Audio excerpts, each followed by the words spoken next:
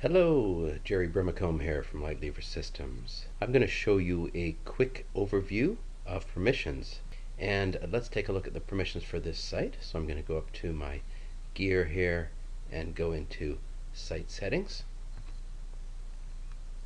And under site settings, the main thing to look at right here is site permissions. There's people and groups there as well, but let's look at site permissions.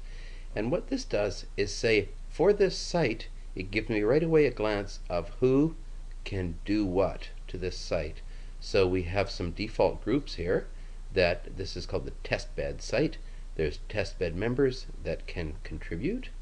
There are testbed owners that have full control. And you have testbed visitors that can read only. Now if I click on these groups, I'll be able to see the membership. So I'm the only member in this site. Let me just go back. And the owners that have full control, that's also just me. Pretty boring, huh? So if the first thing is if we want to add more members to the site, we can do it right here. We just go into click on test bed members and then we can add new members here, add users. So you can put your usernames in here. And if you want to send them an email, it's down here. So let's take a look at permission inheritance. Here we see permission inheritance shown graphically. So you have a hierarchy of sites, a parent site, some child sites, and then in, in this child site A we have a list, and that list has items. We have a library, and that library has folders, and the folder has documents, the typical hierarchy of a simple, simple site.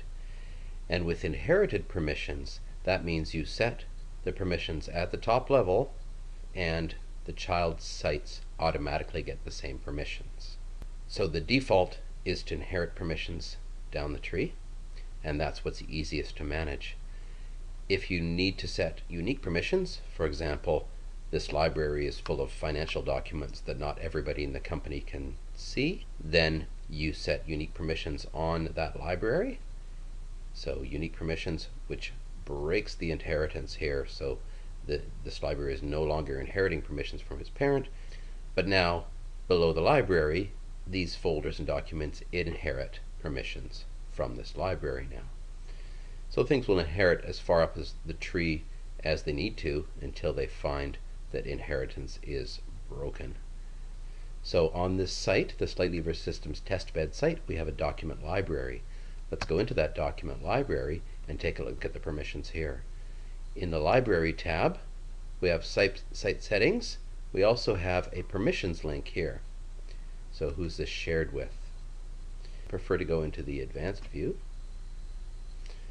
And now in the advanced view, I can see this is inherited from its parent. If I want to stop inheriting permissions and create unique permissions for this document library, I click Stop Inheriting Permissions here.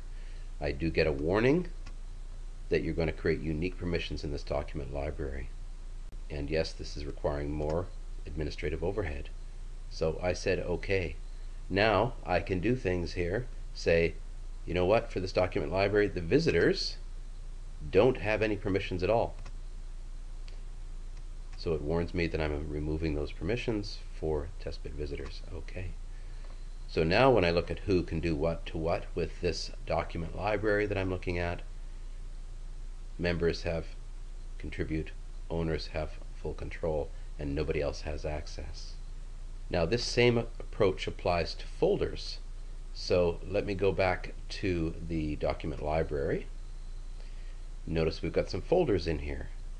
So if I click on the ellipsis and the ellipsis again, you see that one of the options is shared with.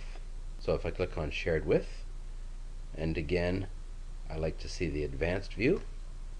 Now one of the reasons I like to see the advanced view is that it shows me this, is it inherited or unique, right here at the top. So now this folder is inheriting permissions from its parent, which is the document library. And again, I could stop inheriting permissions if this folder needs unique permissions. And of course, we're going to go one step farther down. Same idea. If I open up an actual document here, not open it, but take a look at the sharing of this document. Go into the advanced view again. The document inherits permissions from its parent. And again, I can stop inheriting permissions here.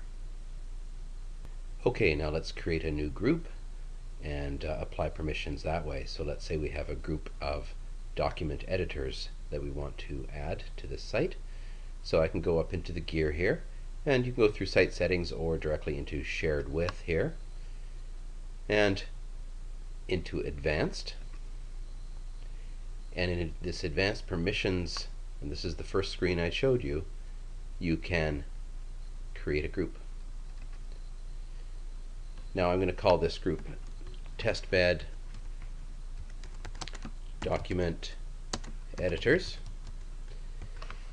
You can put a description in here notice the group owner is defaulted to me what I recommend is that you change this to your administrators group so that it's not just one person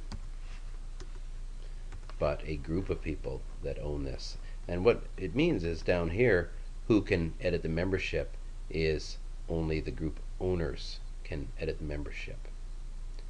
So let's make sure that that's set to a group. And that's a common mistake that'll trip you up if you don't set that. Okay, so now here we can set permissions for this group. I'm just going to leave those blank for now. We're just creating the group and not applying any permissions to it.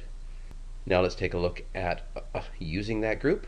So if I go into my permission settings, shared with, and advanced again,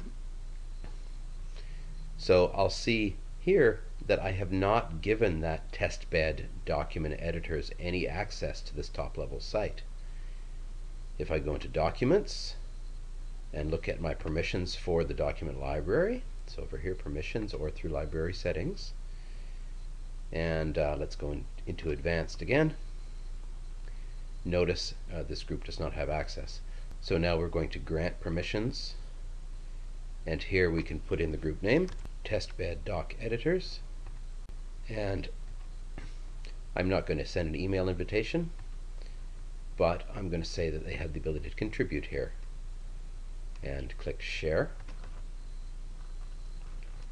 So now, in my document library, testbed doc editors have contribute permissions. And to prove that this is unique, let's go back to the top level site here and check our permissions in advanced. And at the top level, we've still got members, owners, and visitors. And in the document folders, we can check permissions there as well.